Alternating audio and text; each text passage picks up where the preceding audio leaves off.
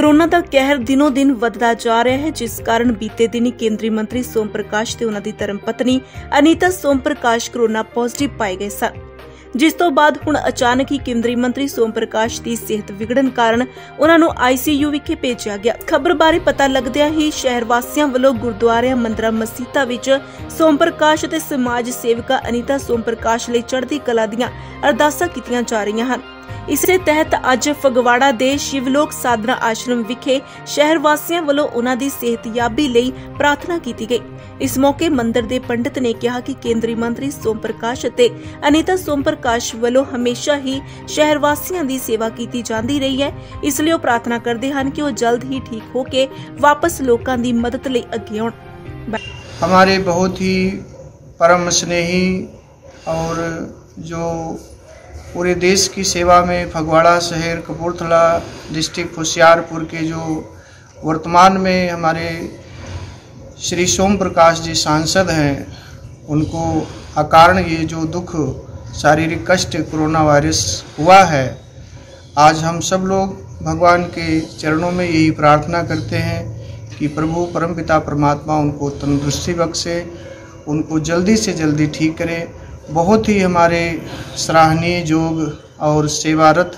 रहते हैं श्री सोम प्रकाश जी और उनकी धर्मपत्नी श्री अनीता कैंथ जी।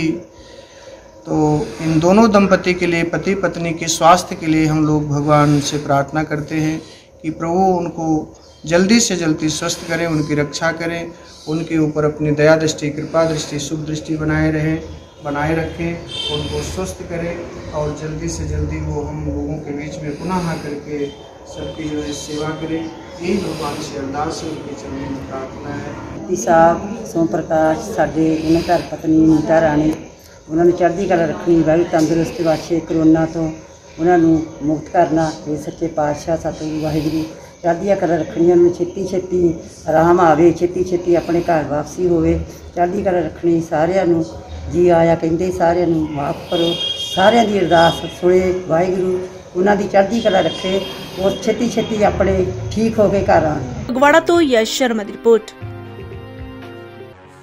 ਦੁੱਖ ਤੋਂ ਨਾ ਘਬਰਾਓ ਸਾਨੂੰ ਫੋਨ ਲਗਾਓ। ਗੁਰੂ ਅਜਮੇਰੀ ਬਾਬਾ ਜੀ। ਐਮਬੀਏ ਕਰਨ ਤੋਂ ਬਾਅਦ ਨੌਕਰੀ ਦੇ ਲਈ ਮੈਂ ਇੱਧਰ ਉੱਧਰ ਬਹੁਤ ਧੱਕੇ ਖਾਦੇ ਪਰ ਮੇਰੀ ਕਿਤੇ ਵੀ ਕੋਈ ਗੱਲ ਨਹੀਂ ਬਣੀ ਫਿਰ ਇੱਕ ਦਿਨ ਮੈਨੂੰ ਮੇਰੇ ਯਾਰ ਦੋਸਤ ਨੇ ਬਾਬਾ ਜੀ ਬਾਰੇ ਦੱਸਿਆ। ਫਿਰ ਕੀ ਫਿਰ ਮੈਂ ਬਾਬਾ ਜੀ ਕੋਲੇ ਗਿਆ। ਬਾਬਾ ਜੀ ਦੀ ਤਾਂ ਐਸੀ ਮਿਹਰ ਉਹਨਾਂ ਨੇ ਤਾਂ ਮੇਰੀਆਂ ਅੱਖਾਂ ਹੀ ਖੋਲ ਦਿੱਤੀਆਂ। ਅੱਜ ਦੇਖੋ ਮੈਂ ਨੌਕਰੀ ਨਹੀਂ ਆਪਣਾ ਬਿਜ਼ਨਸ ਕਰ ਰਿਹਾ। ਧੰਨਵਾਦ ਬਾਬਾ ਜੀ। ਕਾਲੇ ਇਲਮ ਨਾਲ ਕੁਝ ਘੰਟਿਆਂ 'ਚ ਹੀ ਸਮਾਧਾਨ। ਗਰੰਟੀ ਦੇ ਨਾਲ ਹਰ ਇਲਮ ਦੇ ਮਾਹਿਰ।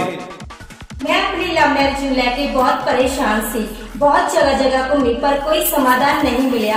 ਫਿਰ ਮੈਨੂੰ ਕਿਸੇ ਨੇ ਬਾਬਾ ਜੀ ਦੇ ਬਾਰੇ ਦੱਸਿਆ। ਮੈਂ ਬਾਬਾ ਜੀ ਦੇ ਦਰਬਾਰ ਗਈ। ਬਾਬਾ ਜੀ ਨੇ ਤਾਂ ਕੁਝ ਘੰਟਿਆਂ ਵਿੱਚ ਹੀ ਮੇਰੀ ਸਾਰੀ ਸਮੱਸਿਆ ਦਾ ਸਮਾਧਾਨ ਕਰ ਦਿੱਤਾ।